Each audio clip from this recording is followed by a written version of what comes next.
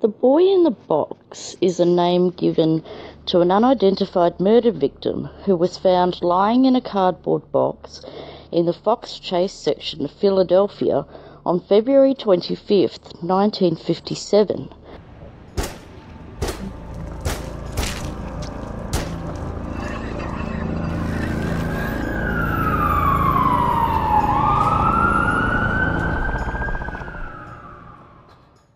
His body was naked and battered, and he was approximately four to six years old at the time of his death.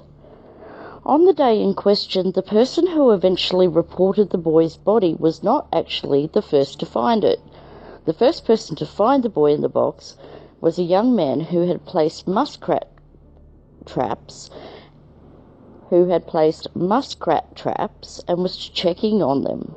The young man worried that his traps would be confiscated by the police, and so he kept quiet on the grisly find. A couple of days later, a college student driving past saw a rabbit running through the thickets. He knew that traps had been set in the area, and so he pulled over, followed, and found the body. He also didn't want to get involved, and so he waited until the following day to finally report what he'd found. The body was wrapped in a plaid blanket and placed inside a box that had once and placed inside a box that had once held a baby's bassinet purchased from J.C. Penney's. The boy was clean and dry and recently groomed. However, he looked to be undernourished. Clumps of hair found on the body suggested he had been groomed after death. The boy had many bruises on his body, particularly on his head and face, and all appeared to have been inflicted at the same time. He had also had seven scars on his body, some of which could have been surgical in nature. Two were on the chest and groin, and x rays showed no evidence of fractures at any time in his life. When examined, one eye fluoresced under UV light, which indicated that eye drops may have been used. Perhaps the child had a chronic eye condition. He had not eaten in the two to three hours before he died, and his hands and feet were wrinkled as if they had been submerged in water for some time. Establishing a time of death was made difficult due to the cool weather. The boy could have been lying in his box for anywhere from a couple of days to two or three weeks. About 15 feet from the box, a distinctive blue cap was found. The case attracted a huge following in the media, and the boy's photo was also put into every gas bill posted in Philadelphia. Thousands of posters Thousands of posters printed with his photo and description were displayed all over Philadelphia and also distributed across the country. The police even dressed the boy's body and posed him in a chair, thinking that a more natural setting of the body may jog someone's memory.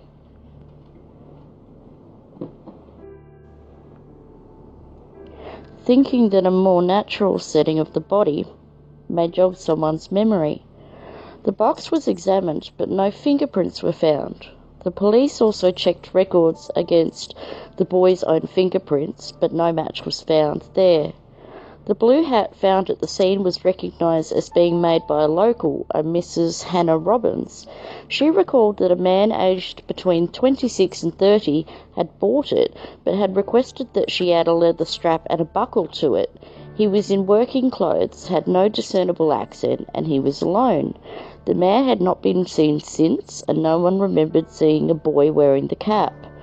Bill Kelly, a fingerprint expert, took the footprints of the boy in the box on the day he was found, but no match was found at local hospitals. Over the years, he has, on his own time, compared the footprints of every birth in each nearby hospital, but he has never found a match. In 1965, Kelly had an idea that perhaps the boy had been a recent immigrant, which would explain why he had no footprints or hospital records on file. He discovered a boy who looked exactly like the boy in the box, who was from a Hungarian family. However, upon investigation, the boy was found safe and well. At the time of the discovery, the police checked every orphanage, foster home, and hospital in the area where the body was found, but no one reported a child missing. Early leads included a New York airman who thought it was his kidnapped son, a boy from West Philly thinking it was his younger brother, and a woman from Lancaster who thought it was her son who was being looked after by his, in her mind, unfit father. These and all other leads were eventually proven false. Like most unsolved cases, there are a huge number of theories surrounding the boy in the box. There is, however, two most investigated. Remington Bristow was an employee of the Medical Examiner's Office who was obsessed with the case. He investigated on his own right up until his own death in 1993. In 1960, he contacted a psychic from New Jersey. Approximately one and a half miles from the site where the body was recovered was a foster home. The psychic described to Bristow a home that matched the foster home, and in addition, when she was brought to visit the site, she led him directly to the home. Bristow went to an estate sale being held at the foster home and found a baby bassinet that was similar to the one that had been sold at J.C. Penney at the time. He also found blankets that were similar to the one the boy was found wrapped in. Bristow believed that the boy in the box with the Bristow believed that the boy in the box was the child of a stepdaughter of the man who ran the foster home. He theorizes that after the accidental death of the boy, they got rid of the body so she would not be exposed as a single mother. However, police were never able to find any evidence to link the family to the boy, and a DNA test has since also ruled out the daughter as the child's mother. The second major theory only came to light in February 2002 and involves a woman who is only identified as M. M claims that her mother purchased the boy from his birth parents in the summer of 1954. She reports that her mother was abusive and that the boy was named Jonathan.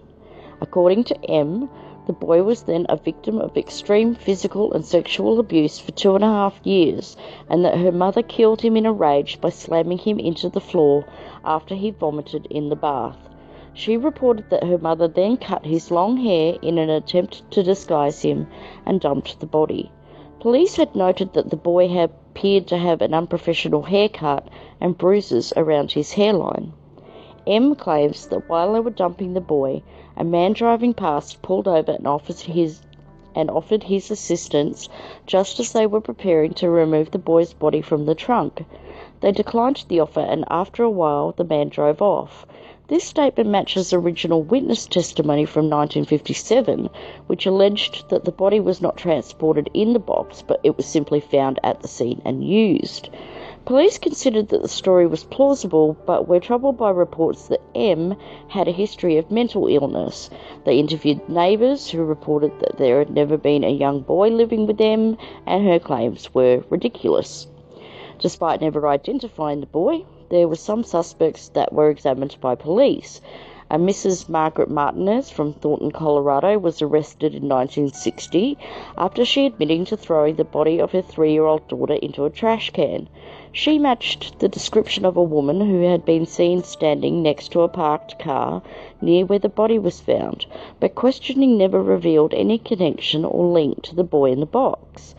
Private Edward J. Posovac from Philadelphia was detained by police after the disappearance of a woman he was dating.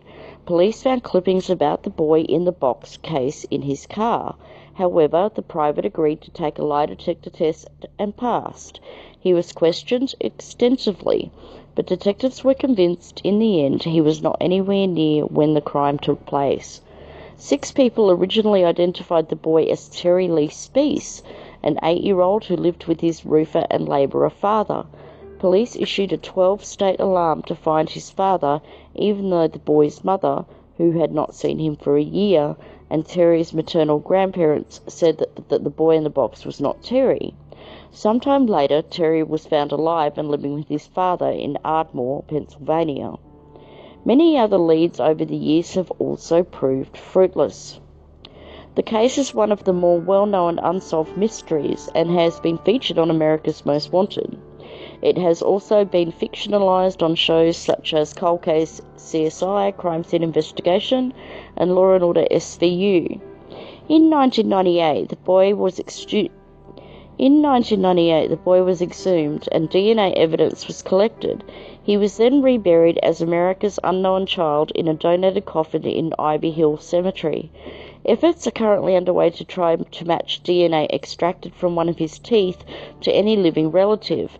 Unfortunately, however, the sample sequence is likely too small to ever provide a conclusive match to anyone. The chances are that anyone who was involved in the case or indeed committed the murder is now also dead. Many believe that had the crime occurred in modern times, it would have been solved.